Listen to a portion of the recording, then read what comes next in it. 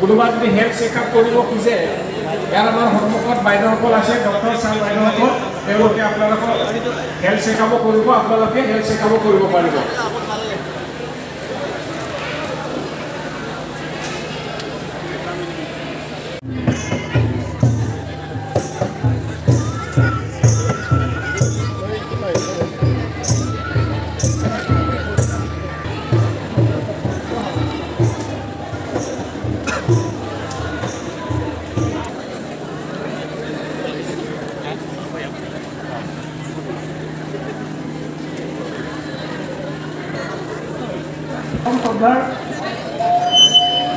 Cabinet মন্ত্ৰী মাননীয়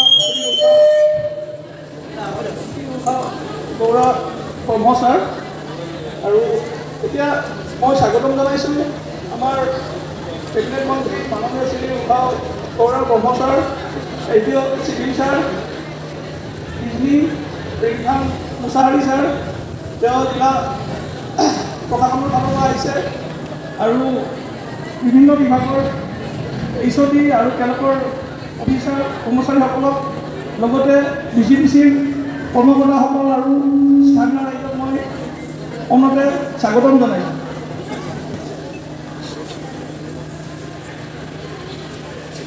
জাতীয় সংগীতটো মই বজাই দিবলৈ অনুৰোধ জনাইছোঁ। সকলোৱে থিয় হ'ব সকলোৱে থিয় হ'ব। এটি নৃত্য স্থানীয় নৃত্য আয়োজন কৰা হৈছে ৰাজ্যসকল উপভোগ কৰক।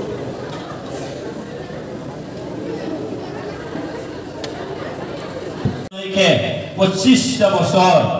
কাৰণ দুই হাজাৰ সাতচল্লিছ চনত আমাৰ ভাৰতৰ স্বাধীনতা পূৰ্ণ হোৱালৈকে আমাৰ ভাৰতৰ বিকশিত এটা ভাৰত হ'ব লাগিব। ডেভেলপ ইণ্ডিয়া হা? এইকাৰণে কি কি কোৱা হৈছে? বিকশিত ভাৰত সংকল্প যাত্ৰা বিকশিত ভাৰতৰ এটা আছে।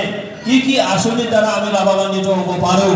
মেডিকেলৰ ক্ষেত্ৰতেই হওক যিকোনো আঁচনিৰ ক্ষেত্ৰতেই হওক এই গোটেইখিনি আমি জানিব লাগিব শিক্ষাত আমাৰ হাণ্ড্ৰেড পাৰ্চেণ্ট আমি শিক্ষিত মানুহ হ'ব লাগিব শিক্ষিত মানুহ হ'ব লাগিব ৰাস্তা ঘাটটো আমি বনায়ে আছোঁ কিন্তু মানৱ হিচাপে মানৱ সম্পদ মানৱ জাতি হিচাপে মানুহ হিচাপে এটা সম্পত্তি হ'ব লাগিব ভাল এটা সম্পত্তি মানৱ সম্পদ মানৱ সম্পদৰ বিকাশ হ'ব লাগিব যেতিয়া মানৱ সম্পদ সম্পূৰ্ণভাৱে হাণ্ড্ৰেড পাৰ্চেণ্ট বিকাশটো হ'ব তেতিয়া দুই হাজাৰ সাতচল্লিছ চনত যেতিয়া ভাৰতটো এশ বছৰ পূৰ্ণ কৰিব স্বাধীনতাটো এই দিনাখনৰ ভাৰত মানে বিশ্বৰ বিশ্ববাসীয়ে জানিব লাগিব যে ভাৰতবৰ্ষ এটা আগৰ নিচিনাকৈ অনুন্নত নহয় এতিয়া উন্নত ভাৰত হৈছে এই কথাখিনি গম পাব লাগিব।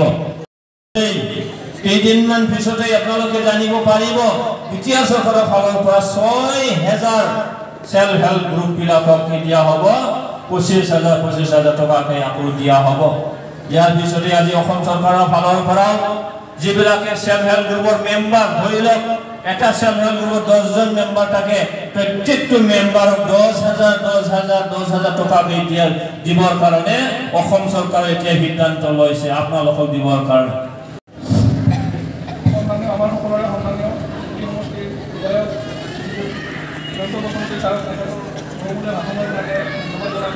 এতিয়া এজেণ্ডা অনুসৰি আমাৰ যিটো শপত শপত গ্ৰহণ শপত গ্ৰহণৰ কাৰণে সকলোকে মই থিয় হৈ শপত গ্ৰহণ ভংগী থিয় হ'বলৈ গ'লোঁ আমি শপত গ্রহণ করে একজন সময় ফেরা লাগেন দেই বৈভব সংযোগ আর আশাইকো সিগাম যেমন আড্ডা আশাইকো বাড়াই আমার ডাইন হাতটো মানে এনেকে মনত আছে নহয়? দৰিদ্ৰতা আৰু ভোক অভিশাপ যেন আছে। কিন্তু এতিয়া নহয়। এনেকৈ প্ৰতিগৰাকী দুখীয়াই মাহৰ পাছত মাহ বিনামূলীয়া ৰেচন পাই আছে। কাৰণ সংকল্প আছিল সম্পূৰ্ণ আহাৰ গ্ৰহণৰ তৃপ্তি প্ৰতিখন লোকত দেখা পোৱা। মনত আছে নহয় আমি দুখীয়াসকলৰ বাবে বাৰ্ধক্য যেন বহু সমস্যাই কঢ়িয়াই আনিছিল। সৰু সৰু প্ৰয়োজন পূৰণ কৰিবলৈ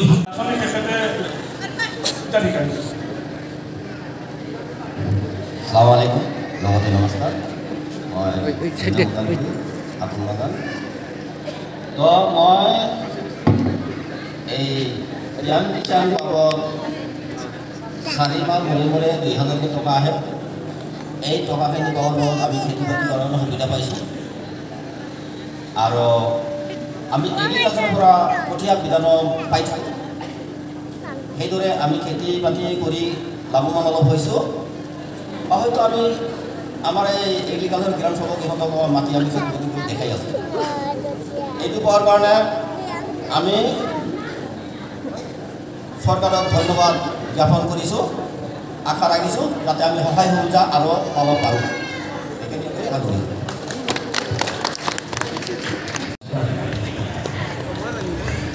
সন্মানীয় বিধায়ক জয়ন্ত বসুমতাৰী, আমাৰ বিজুলীৰ এছ ডি অ' জেইন ডাঙৰীয়া আৰু চিৰাং জিলাৰে এ ডি চি আৰু ইয়াত ভি ডি ডাঙৰীয়া আছে অন্য অন্য বিভাগৰ বিভাগীয় বিষয়া আছে আৰু ৰাজ্যপাল আছে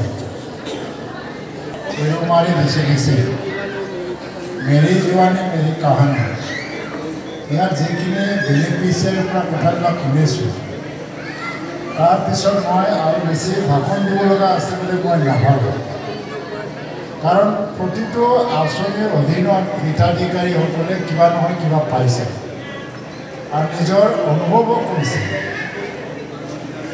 ভাষণটো দিয়াৰ আগতে মই এজনী বাইদেউৰ কথাটো এই যে নলিনী তেওঁ এতিয়াও বিধৱা পেঞ্চন পাই আছে বুলি কৈছে। অৰুণোদয় পোৱা নাই। অসম চৰকাৰৰ আঁচনি মতে অৰুণোদয়ত অৰুণোদয় যাক দিয়ে বিধৱা পেঞ্চন বা বিধৱা পেঞ্চন দিয়াৰ প্ৰশ্ন নাহে। আৰু গোটেইবিলাক সৰু সৰু সৰু সৰু আঁচনিবিলাককে এক গোট কৰি পেলাই অৰুণোদয় কৰা হৈছে এতিয়া এই বাইদেৱে নোপোৱাৰ কাৰণটো হ'ল এই বাইদেৱে যে মইনাখাৰী তেওঁ বঙাইগাঁও সমষ্টিত পৰে মানে বিধানসভা সমষ্টি বঙাইগাঁও গলি তো বঙাইগাঁও ডি চি ইয়াৰ পৰা যিখিনি লিষ্ট দিয়া হৈছে ইমানখিনি অহা নাই সেইকাৰণে এতিয়া মই বাইদেউক ক'ব বিচাৰিছোঁ বাইদেউক সন্দেহ নহয় যা বিধায়কবোৰে মৰি যায় চিগিনি নে बिथांनि समस्थिनि नङाब्लाबो दा डि सिफ्रा मोनसे स्पेसियेल खथा थायो मोनाखैबा बे बायदेवनो मोननायनि मोनसे राहा लानांगौ আপোনালোকে অলপ ব্যৱস্থা লওক বাইদেৱে যাতে অৰুণোদয় পাই যায় তাৰমানে এই বঙাইগাঁও সমষ্টি কৰাৰ কাৰণে ইয়াৰ পৰা বঙাইগাঁও জিলাই কৰে বঙাইগাঁও জিলাই আমি দিয়া লিষ্টখিনি ইমানখিনি দিয়া নাই কিন্তু পাই যাব অলপ আগতে বিধায়ক ডাঙৰীয়া আপোনালোকক বহুতখিনি কথা কৈ গৈছে। আমাৰ ভাৰত স্বাধীনতা হৈছিল ঊনৈছশ সাতচল্লিছ চনত। স্বাধীনতা পাইছিল এতিয়া দুই হাজাৰ সাতচল্লিছ চনত এশ বছৰ পূৰণ কৰা হৈ যাব। মোক আহি পেলাই ধান খাবলৈ আৰম্ভ কৰিলে। সময়ৰ আগত কাটিব লগা হ'ল।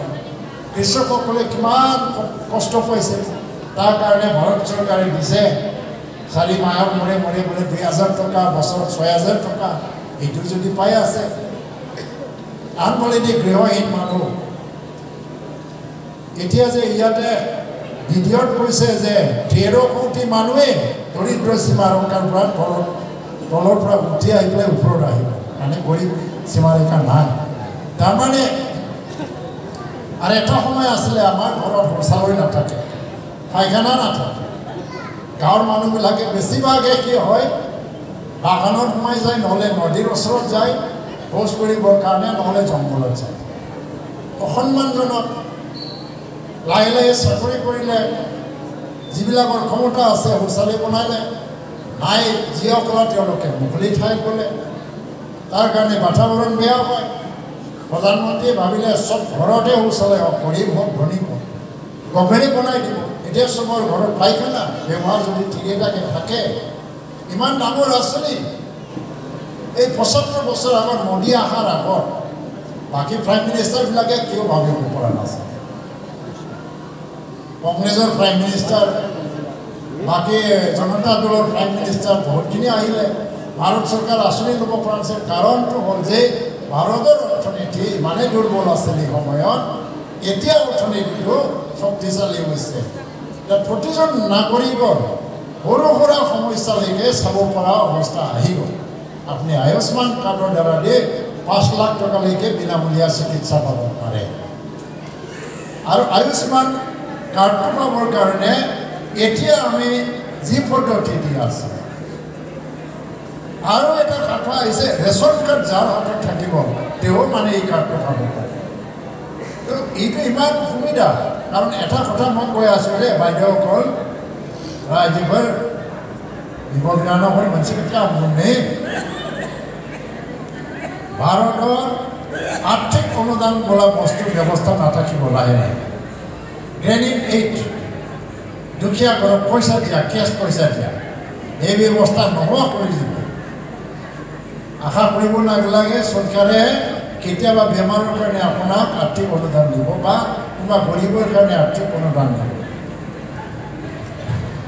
भारतआव मोनसे बेबस्था लादों डाइरेक्ट केस थाखा जों मदद होनाय सिस्टेमखौनो उठायजोबसिगोन लासै दानो नङा लासै लासै उठायगोन তেতিয়াহ'লে আপোনালোকক কেনেকৈ উপকৃত কৰিব আপোনালোকক এই আঁচনিবিলাকৰ দ্বাৰা দি সহায় কৰিব আঁচনিত সোমাই যাব লাগে আপোনালোক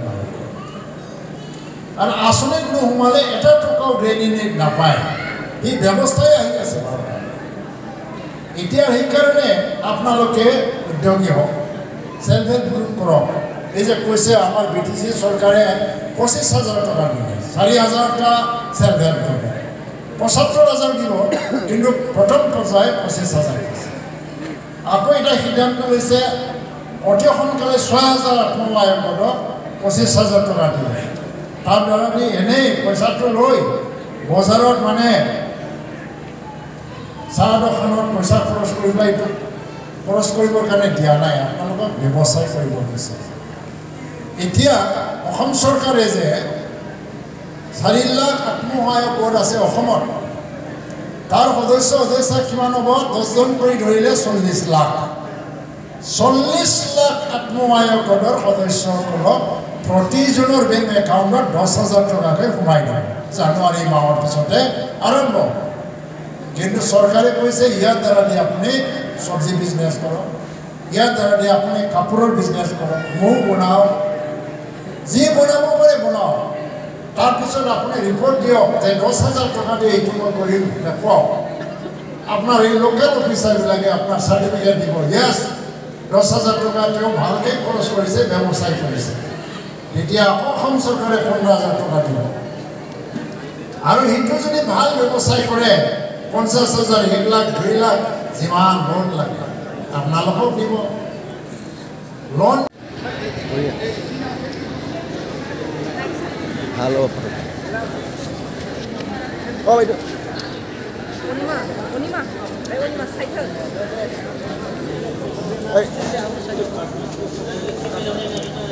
দেখুন স্যার নেক্সট রামজালি মুসারি